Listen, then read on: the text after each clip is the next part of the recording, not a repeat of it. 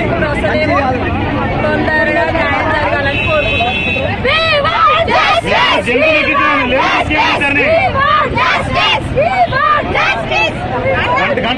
Road black చేసి గంట సేపు అయింది గంట సేపు అయింది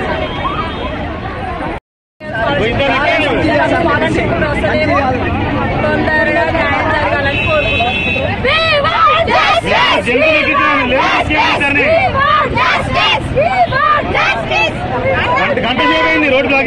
సార్ ఎందుకు చెప్పండి? గంట సేపు అయింది. గంట సేపు అయింది.